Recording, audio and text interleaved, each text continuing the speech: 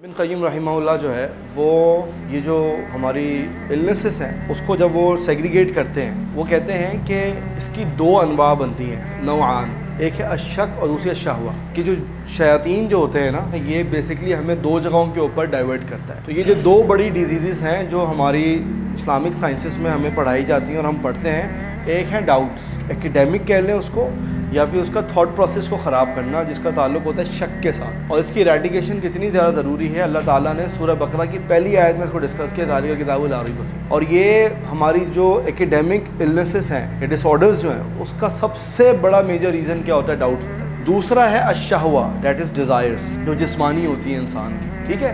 तो एक रूहानी हो गई और एक होगा जिसमानी। तो एक वो सेगमेंट है जो रूहानी तौर पे आपको जो है ना डिस्ट्रॉय करेगा डिस्ट्रॉय करेगा।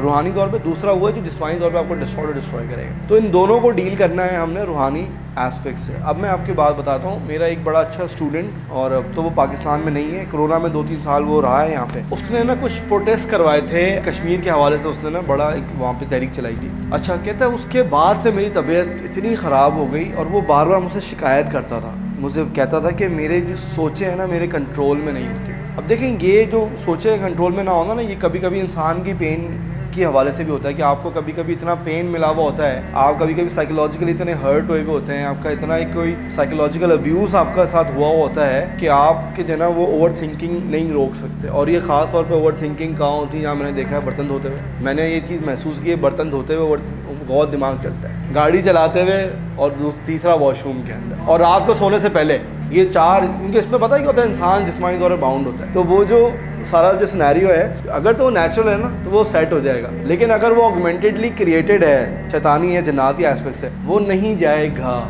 अच्छा उसने ना मुझसे 50 परसेंट अपना प्रॉब्लम शेयर किया था। तो मैंने उसको उस साथ में डील करते, मैंने कहा, शायद हो सकता है, कुछ लोग होते हैं, जिनका जो है ना मसला, हर इंसान का ना, या तो वो शक वाला मसला होता है, या शहवा वाला मसला होता है। तो मैंने कहा, तुम्हारा वो वाला मसला है, तुम्हारा ओवर थिंकिंग का। लेकिन जब उसने मुझे पूरा स्नैरियो बताया ना इतफाक से वो पाकिस्तान से जा चुका था। तो मैंने उसको सबसे पहले तो सुनाई।